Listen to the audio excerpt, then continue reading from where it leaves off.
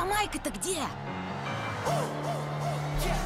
Все, чего я хотел, это нормальная жизнь. Сын мой, десять колец давали нашему роду силу и власть. Если хочешь ими владеть, я должен убедиться, что ты их достоин.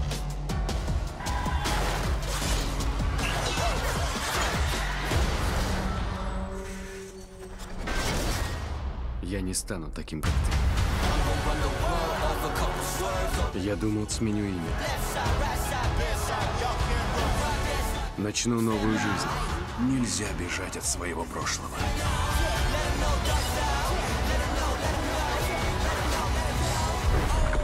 Я тебя не боюсь.